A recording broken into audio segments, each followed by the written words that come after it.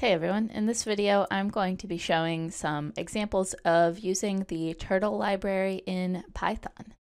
So first before we get started, what is a library? In programming, a library is a collection of code that you can import into your project. Um, typically, it is a, a, repurposable or reusable collection of code that is uh, to accomplish something that might be very complicated if you had to write everything out yourself. So the the library makes it easier to accomplish. So the Turtle library specifically is a graphics library for Python, and uh, if you were to try to write the code to make graphics display on the screen yourself, that would require a lot of code. So the, the Turtle library is a collection of code that makes that process very easy. So we're going to go ahead and get started working with Turtle, and the first thing I'm going to do, I'm using the idle IDE for Python, and I'm going to create a new file. Uh, so this is the file where I will be writing my Python code to use the Turtle library. Uh, so the first thing that we need to do if we want to use the Turtle library is type the word import. This allows us to import the library code into our project. And so I'm going to import Turtle. So that is all that you need to include in your file in order to have access to the Turtle library. So now you can use the Turtle library and it helps to create a variable that you can use to work with the Turtle library. So I'm going to create a variable called t and I'm going to set it equal to turtle dot turtle. And so essentially what this does is it makes an instance of uh, turtle, which will allow me to use this as a variable and to give it some commands to draw some uh, cool shapes and colors onto the screen. The first thing I'm going to tell my turtle to do is I'm going to say t dot forward. This tells the turtle, imagine essentially that you have a turtle walking around with a pen and it's drawing a shape behind it. So um, you can tell the turtle to move forward. Let's say move forward by 100. And if I want to just run this and just see what happens so far, uh, we do need to save this. Now, one thing that's really important is uh, that you do not save your file as uh, turtle. Uh, you cannot call your file turtle, otherwise this import statement here at the top is going to actually just import your own file and then you lose access to the library. So we want to call this something else. So I'm going to call this shapes and colors and we'll just leave it with the Python extension and hit save. And now I can see uh, when I ran it, it then opened up this Python Turtle graphics window and I have this little triangle shape here. This is actually the turtle and it walked in a straight line, uh, 100 pixels, and it starts out facing to the right. So if I want to uh, open my code back up and see a few more things that I can do with this. So we can also turn the turtle either right or left, and we use that with t dot right or t dot left. And then we need to tell it the angle in degrees. So 90 would be a right angle. Let's start with that. Uh, and then just so we can see the turtle move again, let's move it forward by 100 once more. And I will run this again and save. And so now I can see the turtle. If we imagine ourselves as the turtle, we were walking in this direction and then we turn right by 90 degrees and then we walk in this direction. So uh, you can give the turtle different directions and different things that you want it to do. Uh, so let's try, um, I'm just going to keep, I'm going to make a, a full um, square now by making, uh, having it turn right again and forward again um, before I finish making this square, so um, one other thing you can do is you can change the color uh, that the turtle is drawing with. So we can say t dot color is, and then you put your color in strings, and it has uh, a bunch of different colors that are just saved as their word. So the color blue is in there. Um, so now I'm going to copy and paste this so I can make a full square. So let's run this. I actually have uh, one additional line that I don't need. So this should bring us to a full square here. I move uh, 100 pixels and then I turn right, another 100 pixels and then turn right, another 100 pixels and then turn right, and then another 100 pixels. So let's run this. And I have added a typo. Let's fix that. Um, uh, so I accidentally typed TO instead of T dot. So that would be my typo. So let's go ahead and fix that up and run it again. And now we have a square that is drawn in blue. If I wanted this square to be filled in, I can also add a fill color. So I could say t.fill, and this is fill color. And I'm going to give it blue again as well for the fill color. Now, right now, it's actually not going to do anything different if we run this right now. Um, just because I have specified a fill color doesn't mean it automatically fills in. In order to get it to fill in, you actually have to um, tell it to begin fill and then end fill when you're done filling in a shape. So we could do t dot begin fill. And then at the end of this, we would want to end the fill because we don't want it to continue filling in uh, when we start drawing our next shape. We want to have, uh, otherwise it will fill in all the space between those shapes as well. So um, I'm going to do end fill. And so now I have a filled in square. So uh, let's do another shape. So let's, um, if we want to have space between our shapes, what we can do is we can use something called pen up and pen down to move the turtle without connecting our shapes. Um, and just to show you the difference, so I'm, I'm going to move the turtle forward by 200 so I can draw my next shape a little distance away. Um, and then I'm, I'll just draw uh, the next shape and then I'll show you pen up and pen down. So let's say uh, we want to draw a circle. So circle is one of the things that we can draw. And to draw a circle, we need to give it a radius. Let's give it a radius of 50. And let's just go ahead and uh, run this first of all and see what happens. So there's my square. And then the turtle comes up here and it draws a circle, but you can see it left a line in between. If you don't want it to leave a line in between, and probably you don't, then what you can do is use t dot pen up and then move it forward 200 and then use t dot pen down before proceeding to draw the shape. So now let's see this in action.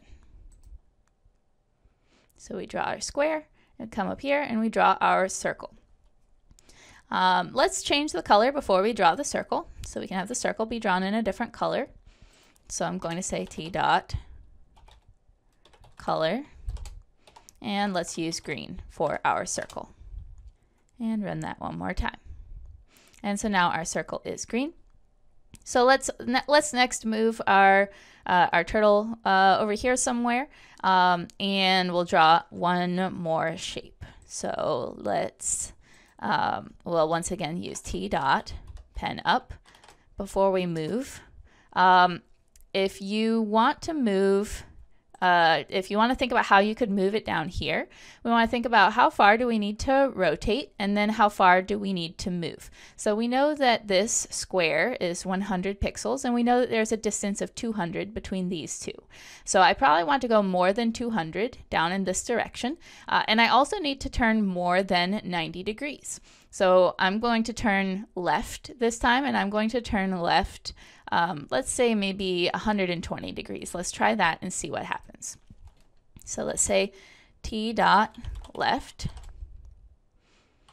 120 and then t dot forward and let's say 250 let's try that first and just so we can see um, have it draw something when we get to that new destination I'm going to say t dot pen down and we'll just do t dot forward and let's do 20 just so we can see where it ends up. So we'll go ahead and run that again. So there's our square, there's our circle, and so now I can see this is how far my turtle made it. This is not quite where I was aiming for. So uh, we can turn a little further to the left and we can go a little further uh, in the in the new forward direction. So uh, let's go ahead and let's say 140 degrees. And let's say we want to move 350 uh, pixels forward. Now let's run it again and see what happens. So there's our square, there's our circle, And now this is right about where I wanted it to end up for my final shape. So let's make a final shape here. And let's think about how we could draw a hexagon. So we know that we can draw angled lines, like we have this little tiny angled line right here. Um, so let's think about what uh, what rotations and, and distances we would need to make in order to uh, draw a hexagon. Uh, so first I am going to change my color. Let's change the color to red. And um, let's go ahead and think about, so let's start with, maybe let's say that we want to start with the bottom of the hexagon. So I'm going to turn the turtle, um, let's say uh, if I turn it to the left, uh, I should be able to get it to line up with the bottom. If I remember the, the angle that I turned it before was 140. Um, and if we think about making perfect 90 degree angles, so if we got this to total 180, then I think that would maybe have us going in a flat, flat line over here. Um, actually, uh, 180 would probably be straight down, but let's try that first. So let's say t dot left, and let's go 40 degrees so that we can get this total. So we've turned left by 140 so far. Let's get the total up to 180. And we'll leave this uh, 20 distance just so we can see it um, and see which direction we are facing at that point. So here is our square, here is our circle, and now we have a, a red line going straight down. Um, and I do want to start with the bottom of the hexagon just to make it a little bit easier. So let's add an additional 90 to this. So that would actually be 130. And let's go ahead and say, uh, let's make the bottom of our line 50. And let's run this again. And we'll see the square, then we'll see the circle, and then we'll see the bottom of the hexagon, which is a straight line. Now, let's think about what angle we need to do to make a hexagon. Um, so we, uh, if we did a full 90 degrees, that would be going straight up. Uh, and we want to be able to turn three times before we get to the next straight edge. Uh, so if we think about 180 would face us the opposite direction. Uh, so if we do 60, 60, and 60, that would get us to a total of 180, which would face us in the opposite direction. So let's try to logic that out. Uh, let's go ahead and do t dot left 60 and t dot forward 50.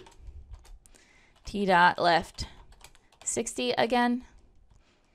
And T dot forward 50. And let's take a look and see where we are at right now. So we still have our square, we still have our circle. We come down here and we have the first three sides of a hexagon. Perfect. So now we just need to finish it out. So we need to go 50 pixels this way, then uh, another 60 degree turn, uh, 50 pixels uh, in the next uh, direction, and then uh, our 60 degree turn one more time. So let's go ahead and add that. So we'll do t dot left 60 and t dot forward 50. Oops, I forgot the parenthesis. And then t dot left again, 60. t dot forward, 50. And um, I think I need one more, but let's try it and see. I think I'm one short, but let's find out. So there's our square again. There's our circle. And now we have one, two, three, four, five sides. So we do need to make one more edge to have a completed hexagon. So let's go ahead and t dot left one more time. And t dot forward 50. And if we wanted to fill this in, we could fill it in just like we did before. So we can do um, before we before we start making our shape. So all of this is going to be our hexagon. Uh, I'm going to add a comment here so I can tell where the hexagon begins. And it would be a good idea to add comments to my other shapes as well. So uh, this one is my square. And here is my circle. So now I can tell which one of each of these is my um, each of my shapes. So I have a square first, then I have a circle, then I have a hexagon. So for my hexagon, if I wanted to fill it in, I could do T dot fill color, and I'll use the same red color, and T dot begin fill. And remember to do T dot end fill at the end of your shape. And let's run this and see it in action.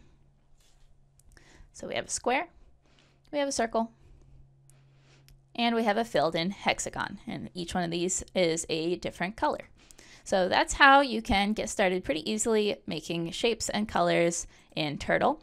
Uh, it becomes a, a, lot of fun once you start making interesting pictures with the shapes that you can make. So um, I would challenge you to think about how you can use the, just the, the angles and the lines and the colors to make some interesting art with it.